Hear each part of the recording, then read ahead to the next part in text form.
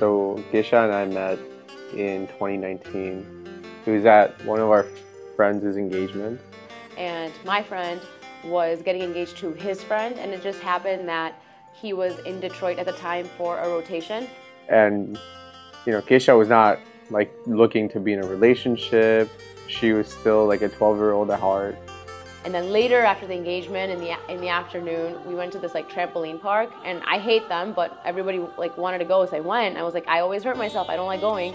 And literally, I went in ten, like not even the first five minutes, I fell and broke my foot.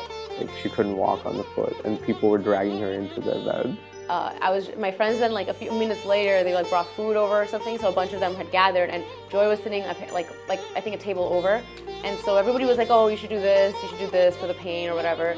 So he turned around he was like oh you should put her there on it. It was just a joke it didn't mean anything I don't think she even registered it. Everybody took it seriously and Joy was totally joking so he was like okay they did not get my jokes he just turned back around and didn't say anything.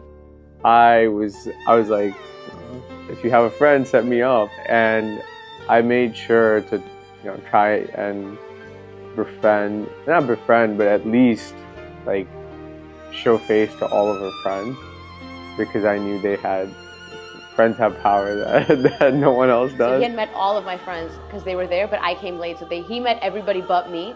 Um, and so he was waiting, like, oh, where, when, when, like, where she is, where is Kesha? But he kept meeting everybody but me, so everyone knew him before they knew, like, I knew him.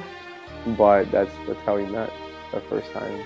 On my way home, all of my friends were like, hey, we met this guy and we think he's gonna be perfect. You have to talk to him, you have to talk to him. And they basically like forced me into it. Um, and I'm, I'm glad they did. It's the best thing they forced me to do. La, la, la,